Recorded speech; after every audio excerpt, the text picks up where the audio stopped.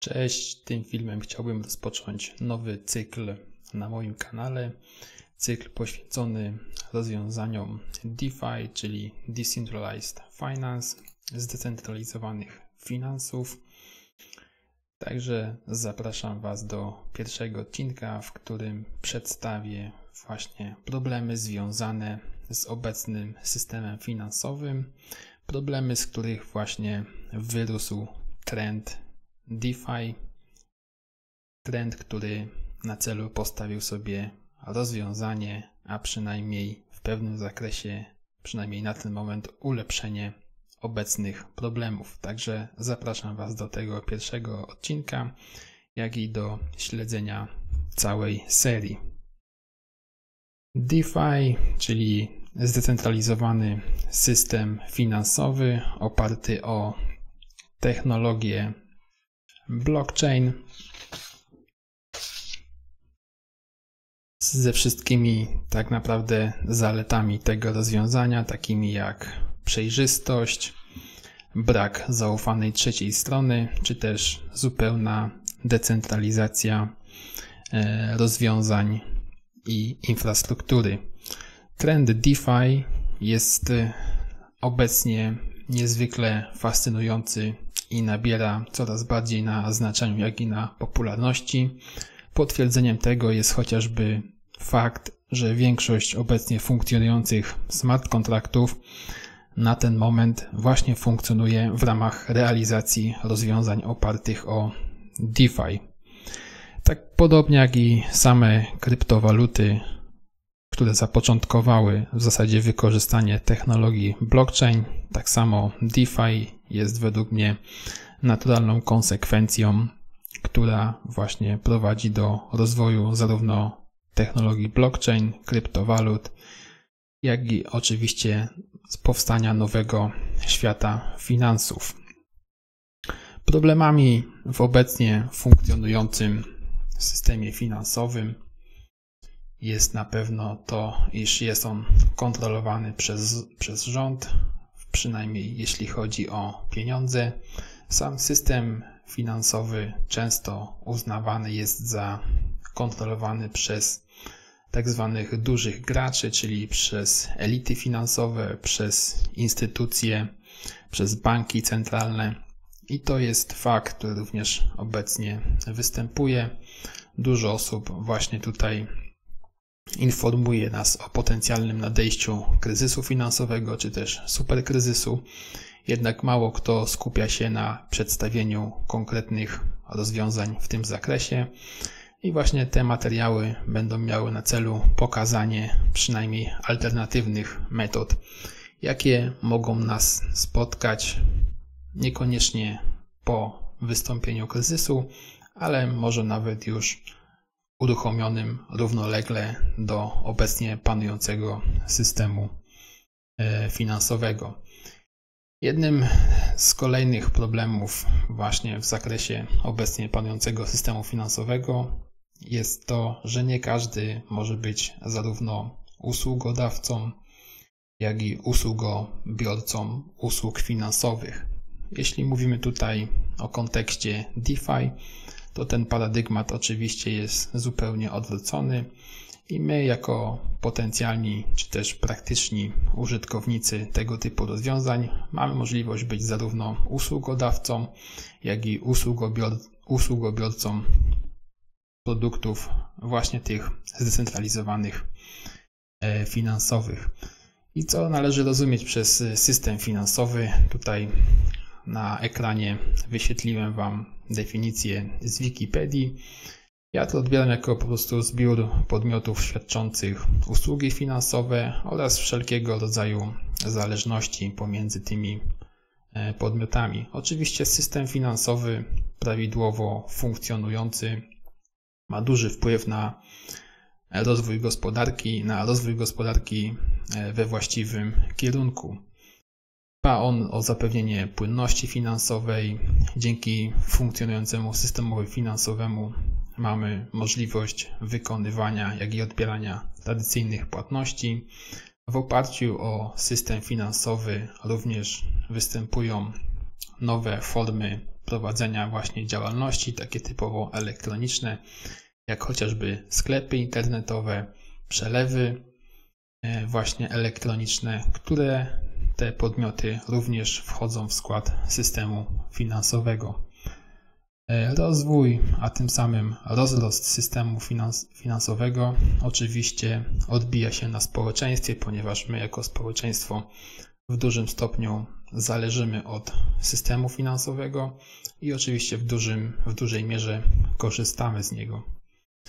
E, oczywiście problemem związanym z obecnym systemem finansowym jest również pewna właśnie pewien rodzaju podział społeczeństwa. Tutaj mówiąc o kontekście typowo inwestycyjnym, mamy inwestorów prywatnych, mamy inwestorów instytucjonalnych, mamy dostęp do usług kredytowania, do usług związanych z pożyczkami, co oczywiście ma też swoje dobre strony, gdyż pozwala na przykład na rozwój przedsiębiorstw. Problemy te o których e, właśnie wspomniałem, są również poruszane, jeśli chodzi o właśnie raport związany z obecnie funkcjonującym systemem finansowym, który aktualnie wyświetlam Wam na ekranie. Oczywiście link do tego raportu umieszczę również e, pod filmem. Jest tutaj szereg ciekawych informacji.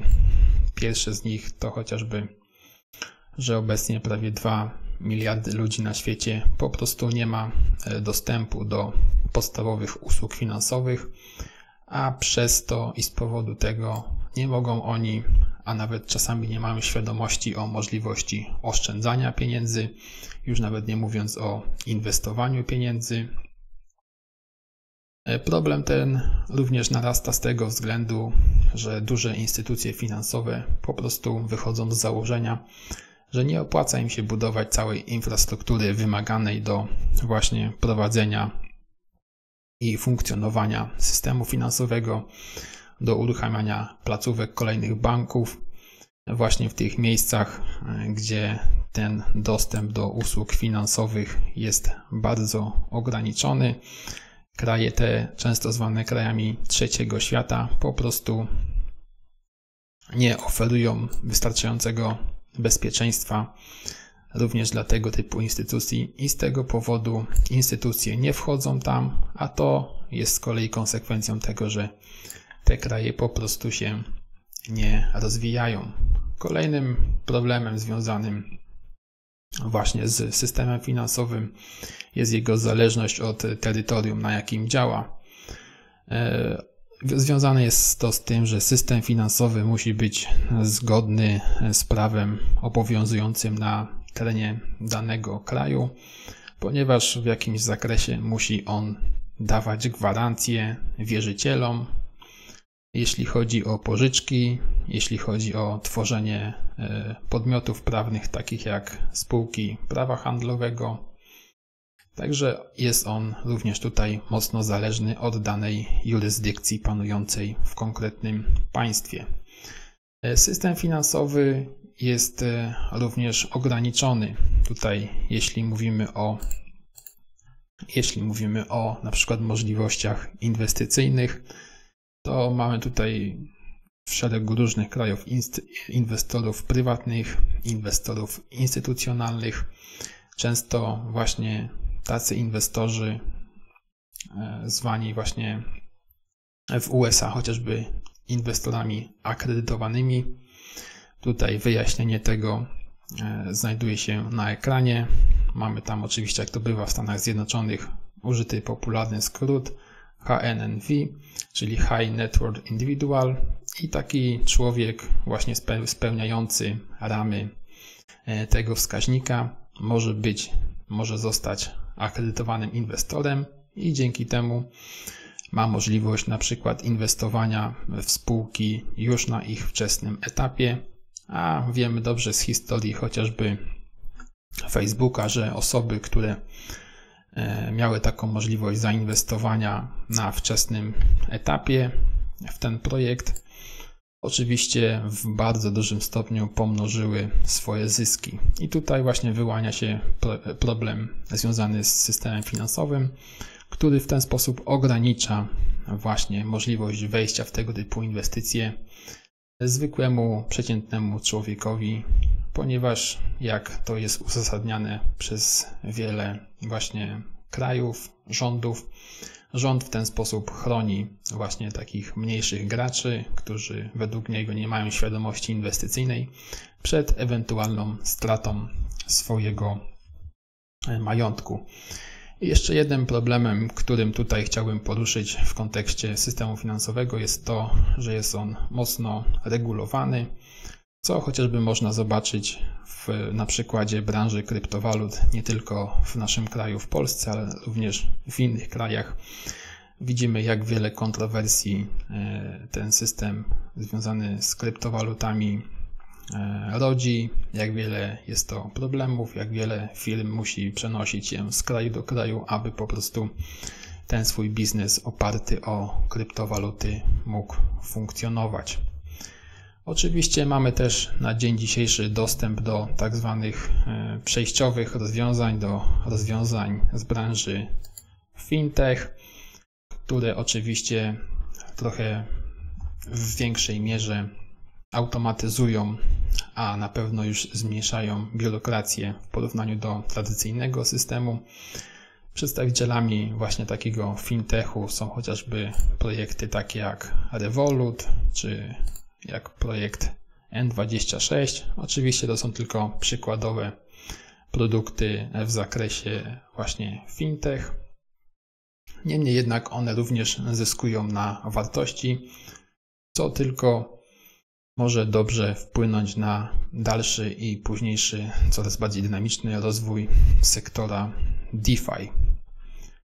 Także jeśli chodzi o to wprowadzenie do DeFi, a tak naprawdę o podsumowanie obecnie panującego systemu, to wydaje mi się, że na ten odcinek to już wszystko. Zapraszam do śledzenia filmów pojawiających się w tej serii. W następnym odcinku przedstawię właśnie zalety, jakie rodzi DeFi i jak radzi sobie z wymienionymi tutaj problemami. W kolejnych odcinkach będę przedstawiał dokładnie, jak to funkcjonuje, jakiego typu projektów możemy się spodziewać w segmencie DeFi, a czasami nawet jak możemy obecnie zarabiać na obecnie funkcjonujących projektach DeFi.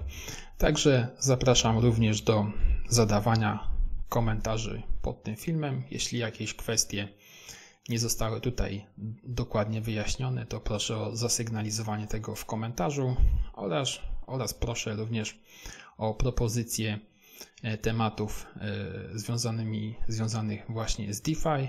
Ja tutaj oczywiście mam już jakąś agendę w głowie odnośnie e, tego, tej tematyki, ale wiadomo, że jest to bardzo szeroki temat i tutaj będziemy starać się sukcesywnie po kolei kolejne właśnie wiadomości z tego segmentu wyjaśniać.